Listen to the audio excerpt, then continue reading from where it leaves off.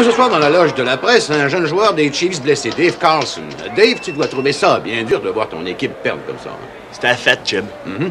Tu t'es blessé le genou durant la partie à Peterborough. hein? Non. Ah non? C'est une entorse? Ah non, Jim, j'ai le rhum. Tout. Tu sais, j'ai le nez qui coule, la gorge toute trop. Tu sais, dire, Ah. j'ai voulu aller faire partir mon char, moi, pendant l'orage l'autre soir.